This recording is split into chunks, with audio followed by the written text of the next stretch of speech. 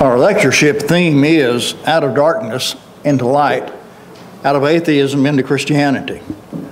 And all these lessons have been designed to kind of build one upon another to lead us to the end of how to obey the gospel and how to live a life as a faithful child of God. So each one is simply a step, we might say, walking up the steps to get to the eternity. But I just wanted to put that uh, before us where we could see it uh, here. We're talking about the seed of woman, and in the amount of time I have, and I'm not even going to, well, I did, I will.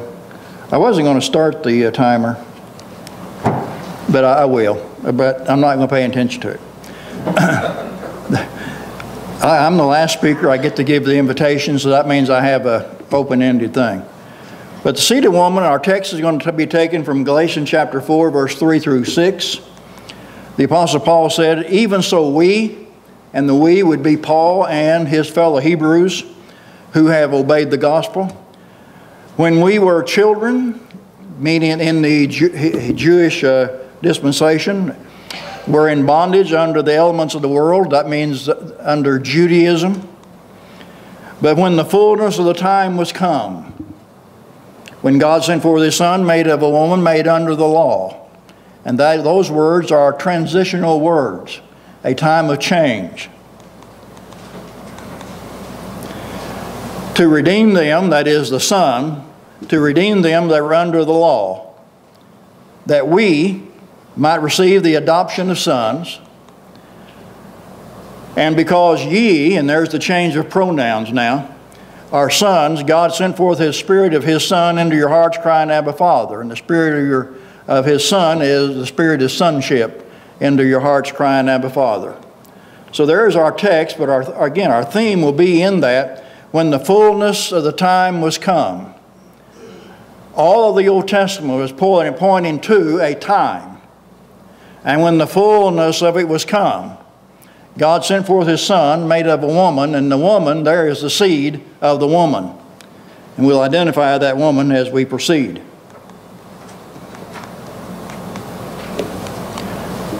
Now, I do this left handed, so that's going to be a problem. We'll do it right handed. To redeem them that were under the law, and we're going that direction. the words made of a woman introduce the, my subject, the seed of a woman but it, this is not the beginning. It refers to the fulfillment of the prophecies of the Old Testament, starting again in the opening pages of the Old Testament. You don't have to turn far. As you open up your Bibles and you turn a few pages, you come to chapter 3 and you come to verse 15. This is after the sin that was committed in the early part of the chapter and the conversation between God and Satan. And God says to Satan, And I will put enmity between thee and the woman. Now, this is not a conversation between God and the woman, it's between God and Satan. And so I will put enmity between thee and the woman, and between thy seed and her seed. And it or he shall bruise thy head, and thou shalt bruise his heel. This is a, the promise that is given. A, we might say the first promise, in fact. It is the proto evangelium.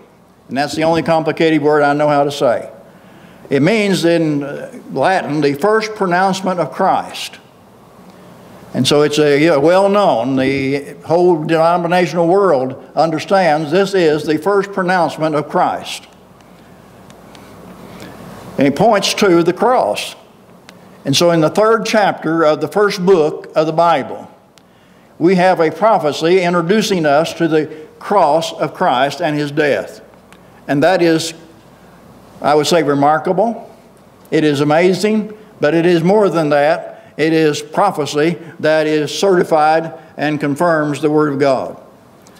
The bruising of the, the seeds, the woman's seeds, uh, heel, uh, Satan doing, or Jesus, Satan bruising the seeds heel is on the cross.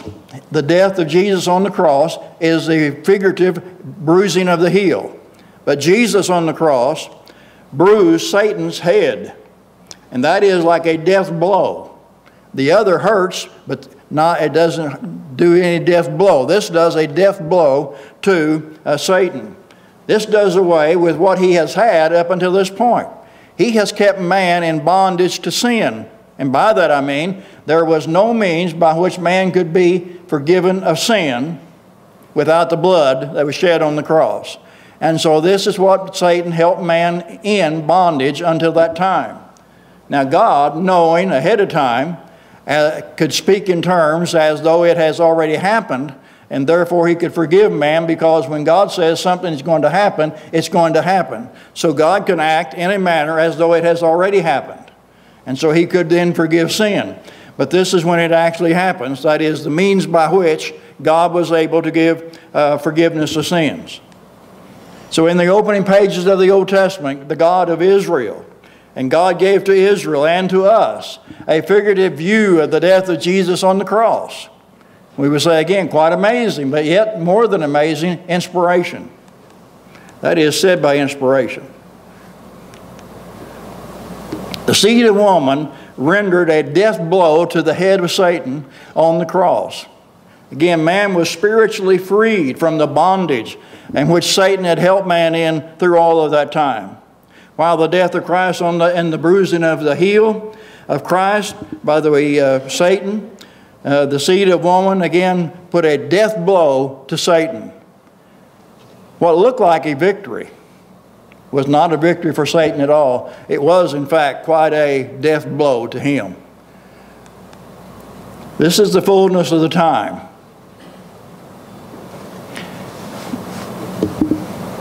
I'm smiling because we have a very important person coming through the doors back there. the bloodline of Christ is what this is all about.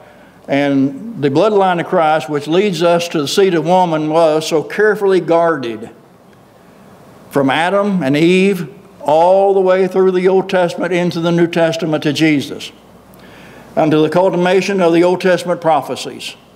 Jesus fulfilled, as Marion pointed out earlier in his lesson, over 300 prophecies in the Old Testament. We wonder sometimes about the, the, all this begetting in the Old Testament. And we read it and we get kind of bored. Well, there's a reason for it. And that is, it is the bloodline. It is a leading forward to the seed of the woman. In Genesis chapter 5, verse 1 through 5, this is the book of the generations of Adam. In the day that God created man, in the likeness of God created he him. Male and female created he them and blessed them and called their name Adam.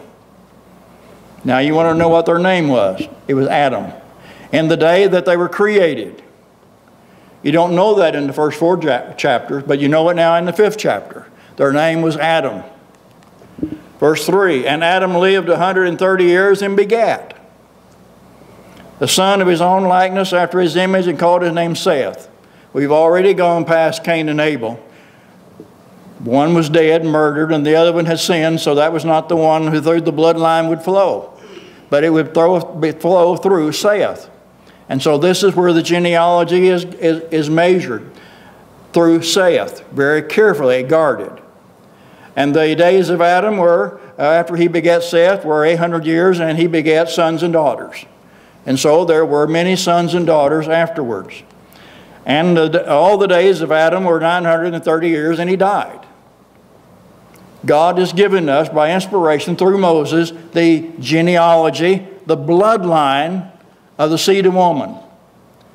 And that is what it is all about. So don't get bored when you read those begats. They are giving us the bloodline. The seed of woman is being traced. Verse 6 And Seth, lived 105 years and begat Enos. And then, of course, it goes on in the book. The bloodline runs through Seth. And we can't go on with that because we have to hurry along. But Noah then is in the bloodline. In chapter 10, in verse 1. Now, these are the generations of the sons of Noah Shem, and that would be the one through whom the bloodline flows. Ham and Japheth, and unto them were sons born after the flood. The bloodline now runs through Shem. There were three sons, but the bloodline runs through one. not through the three, but through one. In the flood, God was saving the bloodline that was to bring forth the seed of the woman. We all know about the flood, and we know what happened. But Shem and his wife were on the ark, and the ark was the place of safety. And they were being saved from sin that was being destroyed by the water, and so they, the water was the means of safety. Following the great flood, Moses picks up the genealogy once more as time moves forward then. This brings us to a very important change in the history of the Old Testament. God prepares to protect the bloodline. Once more, it is in danger. It was in danger because of the wickedness in the time of Noah, and God protected the bloodline. He saved Noah and Shem by putting them on the, the ark and destroying sin. But it is once more in danger, and God acts. God prepares to protect the bloodline as the time marches forward and towards the fullness of the time. Remember, we're going in the fullness of the time. We're going towards a time. We would say the time. So the Old Testament is a history of the bloodline, which leads to the seed of the woman. It is in the generations of Terah, who is the father of Abram, that Moses uh, covers uh, the next move as he goes forward again to Abram, who is Abraham to us, uh, as we look at. Abram will now become the key historical figure as God will take the promise or make a promise to Abram, which becomes the promise now from the time it's made through the end of the Old Testament and then into the New Testament. And so it is the promise of the Old Testament and the New Testament. This promise is the foundation, in fact, of our text. And that may surprise you, but it is. And if you study Galatians, you'll see that. And so it is the foundation upon uh, this seed promise in which we read in Galatians chapter 4, 1 through 6. Uh, and so chapter 4 is built upon this promise that God makes to Abraham. Let's go read this in chapter 3, verses 24 through 29. For the law was our schoolmaster, and the R there would be Hebrews, not Gentiles, Hebrews, schoolmaster to bring us to Christ that we might be justified by the faith. But after the faith is come, that is, after the faith is come, we are no longer under the schoolmaster. That would be the law of Moses. For we are all children of God by faith in Christ Jesus. For as many as were baptized into Christ have put on Christ. There is neither Jew nor Greek. There is neither bond nor free. There is neither male nor female. For we are all one in Christ Jesus. If we've been baptized into Christ, we are all one in Christ Jesus. What does that mean? And if you be Christ possessive, then are you Abraham's seed and heirs according to the promise. That's the promise that we're going to study about in just a moment. And that is the seed, the seed promise that we're going to get to in a moment. This is what chapter 4 is built upon. It is built upon the seed promise because it tells us the fulfillment of it. When the fullness of the time was come, the seed promise that God gave to Abraham was fulfilled. And again, that is the seed. We will say, who is the seed? Who is this seed of Abraham? In Galatians 3, verse 16. Now to Abraham and his seed were the promises made. He saith not unto seeds as of many, but as unto one, and to thy seed which is Christ. And that's why, if we're baptized into Christ, we belong to Christ and we are the heirs of the promise made to Christ. And that is what the foundation of chapter 4 is built upon the promise. And that's why we go back and pick up the genealogy now of Abram. In Genesis 11, verse 27. Now these are the generations of Terah. Terah begot Abram, Nahor, and Haran, and Haran begot Lot. And Lot plays a role in that history. So God's plan is marching towards or forward through the Old Testament to the fullness of the time and uh, the fulfillment of the promise that God made to Abram. God made this promise while Abram uh, was in Ur of Chaldees. Now, sometimes we miss that. We think Abraham or it was somewhere else. But Ur, Abraham or Abram is still in Ur of Chaldees when, he makes the, when God makes the promise. Genesis uh, 12, verse 1. And the Lord had said, Do you get that? And the Lord had said to Abram, Get thee out of thy country. Well, when did God tell Abram to get thee out of thy country? While he was in thy, country. And he was in Ur of Chaldees, and God said to him, while he was in Ur of Chaldees, get out of it, and get it from thy country, thy kindred, and from thy father's house, unto the land that I will show thee. Now, what had God said? And in thee shall all families of the earth be blessed. Now, he said other things in regard to the nation and so forth, but this is what we're focusing in on because we're looking for the seed of woman. And so he says to Abram, And in thy seed shall all families of the earth be blessed. And what did Paul say about the seed of Abram? It's Christ. And what did our text say? In the fullness of the time, God sent forth his son made of a woman. That seed was Christ. And so we can tie that together as we think about it. And so through Abraham, the promise is made that in his seed should all families of the earth be blessed. That seed is Christ, and there's where the blessings are. And so the promise is pointing to the seed of woman then. But then in Genesis chapter 17, verses 4 through 6, God speaking, As for me, behold, my covenant is with thee, Abram, and thou shalt be a father of many nations. Neither shall thy name any more be called Abram, but thy name shall be Abraham. And now we can get more comfortable because we can call him Abraham now. For a father of many nations have I made thee, and I will make thee exceeding fruitful, and I will make nations of thee, and kings shall come out of thee. But this is not all as it leads to the bloodline. There's more to the story. God is talking now to Abraham. But Abraham is not all of it. And the seed of woman runs together now. The promise to Abraham, but there's more to it than Abraham. If we only think of Abraham, we're just getting half the story. Notice as he goes on, verses 15 to 16. And God said to Abram, And for Sarai thy wife, thou shalt not call her name Sarai, but Sarah shall her name be, and I will bless her and give thee a son also of her. And that son is very important to this bloodline and the seed of woman. Yea, and I will bless her, and she shall be a mother of nations, and kings of people shall be of her. A covenant is now made. And God said to Sarah, and God said, Sarah, thy wife shall bear thee a son. Still talking to Abraham. But he says, Thy wife, Sarah now, not Sarai, but Sarah, thy wife shall bear thee a son. Indeed, and thou shalt call his name Isaac. He even gives the name by which the son is now to be called. And I will establish my covenant with him for an everlasting covenant, and with his seed after him. This is the nation of Israel.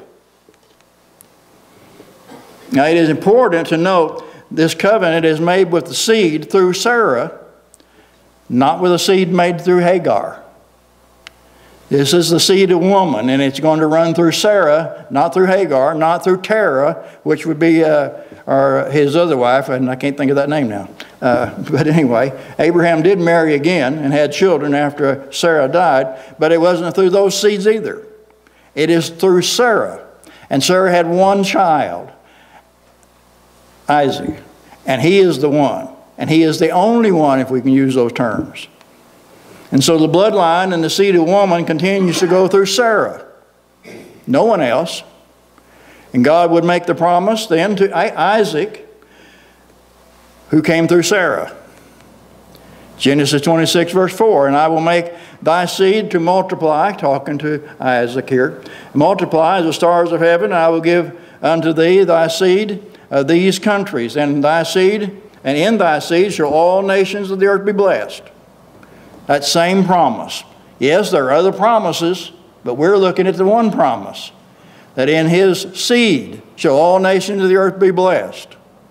That's the promise that Paul is talking about in Galatians. And that promise was also made to Jacob. So we have it made to Abraham, we have it made to Isaac, and we have it made to Jacob. Genesis 28 14. And thy seed shall be as the dust of the earth. That's just uh, like Israel and so forth. And thou shalt spread abroad to the west and to the east and to the north and to the south. And uh, in thee and thy seed shall be, and thy seed shall all the families of the earth be blessed. Those same words are repeated. And that's what we're looking at in thy seed. Keep in mind, this becomes the promise of both the Old Testament and the New Testament, again, directly as we look at the words of our text. And what are we talking about? In the fullness of the time, God sent forth His Son, made of a woman, made under the law. He identifies the time while the law is still in, is, is still in force, made under the law. It would not be after the old law was done away with. It would be while the law was still in effect. In fact, he would be the means by which the old law would be removed in, as far as being enforced went. Well, let's turn our attention now to Isaiah's virgin, because we're looking at the seed of woman. In Isaiah 7:14, therefore the Lord himself shall give thee a sign. Now, a sign is more than something remarkable or something amazing. Those things happen all the time. A sign is something that is beyond natural law. Behold, a virgin shall conceive, and that's beyond natural law, and bear a son, and thou shalt call his name Emmanuel. Emmanuel being God with us. And what does our text say? And in the fullness of the time, when the fullness of the time had come, God sent forth what? His Son, made of a woman. His Son. And what does Emmanuel mean? God with us. His Son would be Emmanuel, God with us. And so everything in this text points to the seed of woman. Everything about it. The Septuagint, which is the Greek version of the Old Testament as the translators were translating from Hebrew into Greek. I believe there were 70 of them. And they came to this Alma. And the Greek is Parthenos. And what does it mean? Now, these are uninspired translators from Hebrew to Greek. They know both languages. And they come to this, this word in Isaiah's text. God will show you a sign. Behold, a Alma, if that's the way you say that word. It means a virgin, a marriageable maiden, a woman who had never had sex or intercourse with a man. That's the word they used. How did they understand it? They understood it to be a virgin. Well, nowadays, they don't understand it that way. But back in about 280 BC, they understood it that way. Those 70 understood. You translate Hebrew into Greek, and this is the word. But this is the same word the inspired writer Matthew used when he came to quote Isaiah in Matthew 1:23. And so the Jewish scholars picked the same word that the Holy Spirit picked when he had Matthew quote Isaiah, Isaiah 7:14. Behold, a Parthenos shall be with child. By man, I could say that's, that's impossible outside of this artificial insemination we have today. But back then, it was impossible without it being a miracle. And shall bring forth a son, and thou shalt call his name Emmanuel, which Matthew now tells us, which means, being interpreted, God with us. In the fullness, or when the fullness of time was come, God sent forth his son, made of a woman. That's exactly what Isaiah is talking about.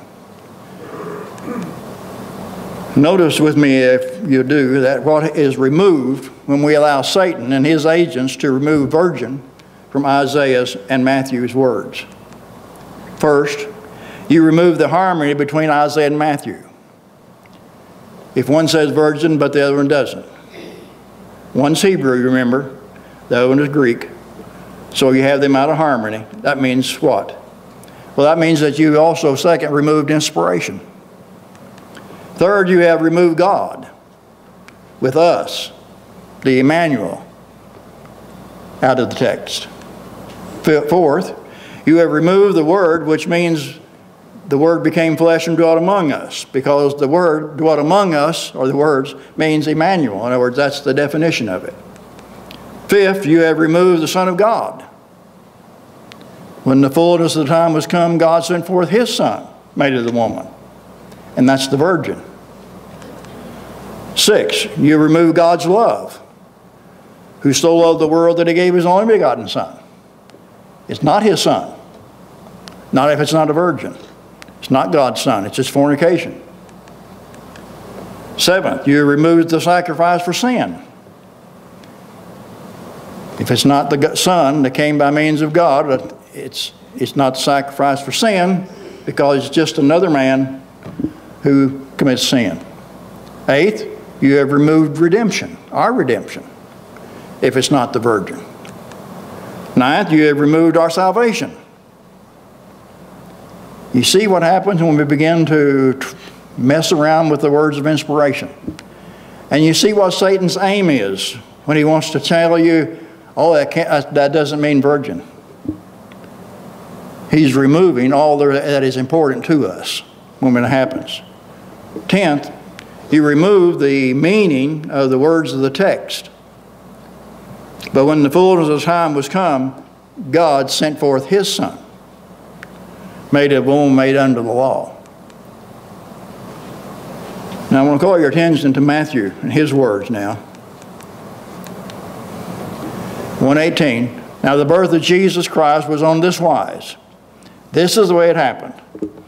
When as his mother Mary was the spouse of Joseph, before they came together, she's still a virgin.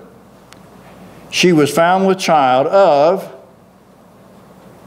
Oh, not Joseph, but some other man, right? No, that's not what it says. It says of the Holy Spirit. Well, the Holy Spirit is God. One of that which is God. Third member of the Godhead, as we style it. Not man, but God. Of the Holy Spirit, not of man. Therefore, it's the seed of woman, not man.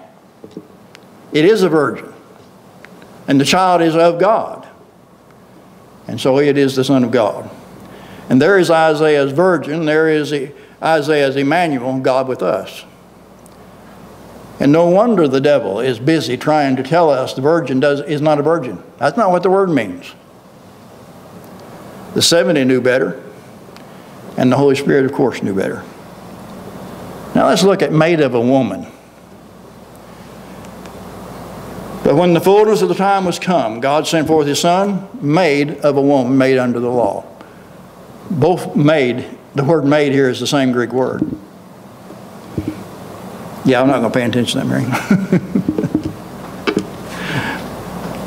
On this clear guy, I got 12 minutes. God is eternal. God is, I am that I am, I exist because I exist. There, there's no beginning, He's eternal. The text says, the Son of God made of a woman. Made. Jesus of Nazareth had a beginning. Now, God has no beginning, but Jesus of Nazareth had a beginning. The seed of woman had a beginning.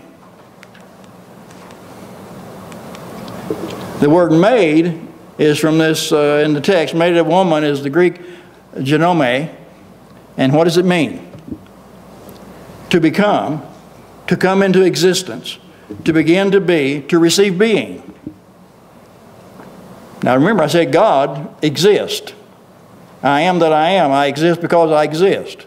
So God did not come into existence when Jesus of Nazareth was conceived. But the fleshly Jesus of Nazareth did.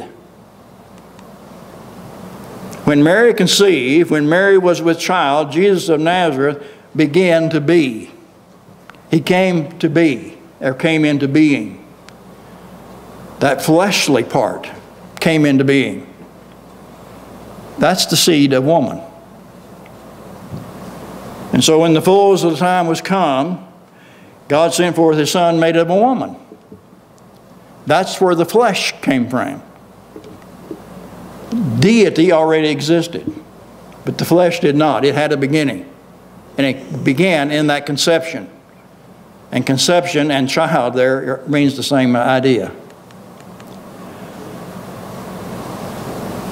Now, nowhere is this more clearly revealed as we look at it than in Philippians chapter 2, verse 6 through 8. This is a beautiful text, and I cannot give you all that it means. I can just kind of give you a, a very brief summary of this beautiful text. First, and I'm breaking it down into phrases. Who, and we're talking about when it says in verse 5, let this mind be in you which was also in Christ Jesus. Who, being in the form of God, now, we're not talking about the fleshly Jesus here. We're talking about he who was in the form of God. And that word means the form, the word form. He bore the form, the, the sovereignty of God, all that is God, as viewed by the inhabitants of heaven. In other words, we say the second member of the Godhead. And when the angels looked at God the Father, and they looked at God the Son, and looked at God the Holy Spirit, they saw the same thing. I don't, I, I, we have trouble describing all that, but when they saw the same thing, there were no difference in them except being. And we have trouble with all that, but that's kind of the way it is. They saw God. All the qualities were the same.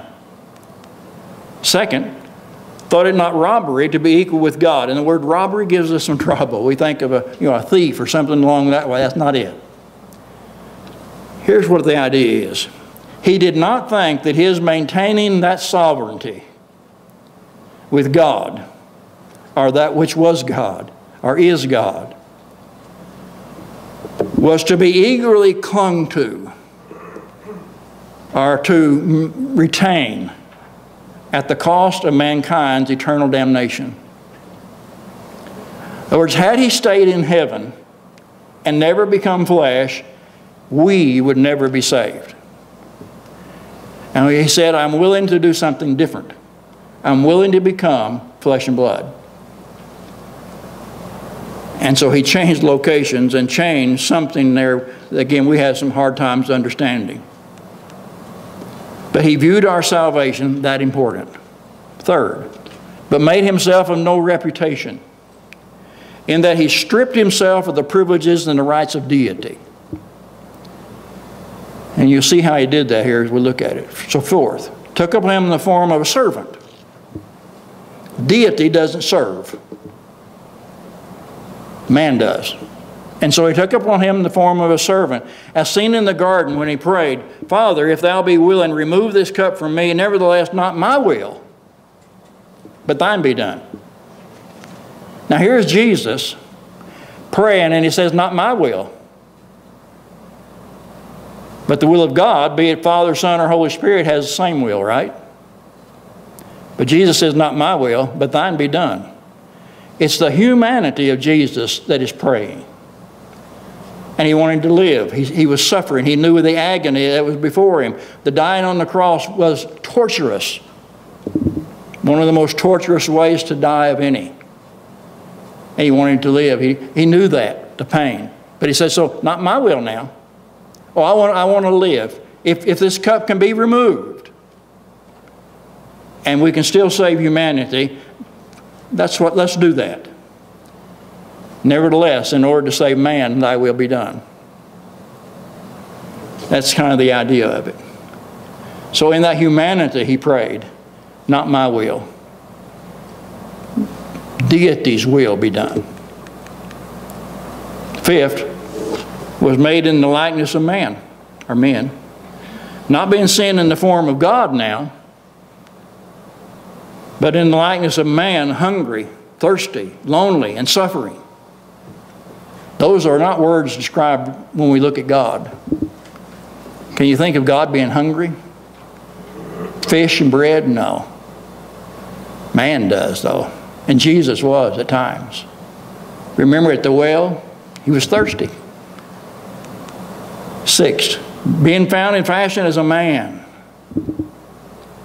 And the man said, If there's a way, but not my will, thine be done. In all that in is humanity, even to the point of being tempted to sin. That's the humanity he became. That began at that conception when Mary was with child. Seventh, he humbled himself. He was ranked below others who are honored above him. Seen as he stood before Pilate. And I love the words of that song. Now you got to view this. Jesus is before Pilate, and Pilate is the, the king. He's the one with authority, and here's Jesus. As deity, he could have called 10,000 angels. But in his humanity, he died for us. I think those words, if you look at them in that way, mean a lot to us, don't they? That's Jesus. He humbled himself. Eighth, he became obedient unto death. Like all mankind, he was subject to death. It is appointed unto man once to die. Deity does not die. Deity is not born. The flesh and blood is. And the seed of woman was. It came into existence. Humanity died, not deity, humanity. Ninth, even the death of the cross. So, not just death of old age, not just death by accident, but death upon the cross. A torturous brutality as a criminal. He died. That's the seed of woman. In those words, we have we are taken back to the proto evangelium of the Bible, the first pronouncement of Christ. And what do we have? And I will put enmity between thee and the woman, God said, between thy seed and her, and, he, and her, between thy seed and her seed. And he shall bruise thy head, and thou shalt bruise his heel. And when the fullness of the time was come, God sent forth his son, made of a woman, made under the law. That's what we see in the third chapter of the book of Genesis. That's what God is talking about the death of Christ upon the cross. To redeem them that were under the law, that we might receive the adoption of sons. And because ye are sons, God has sent forth His Spirit into our hearts, crying, Abba, Father. And how grateful we are that in our hearts we have the spirit of sonship. Because God said to the serpent, He's going to bruise your head. And I'm going to forgive man their sins when they obey the gospel of Christ. We have the opportunity to obey the gospel of Christ at this time, to believe it, to repent of your sins, to confess Jesus Christ, and that means to confess your loyalty to Him, and to be baptized. As we stand and sing, will you come at this time?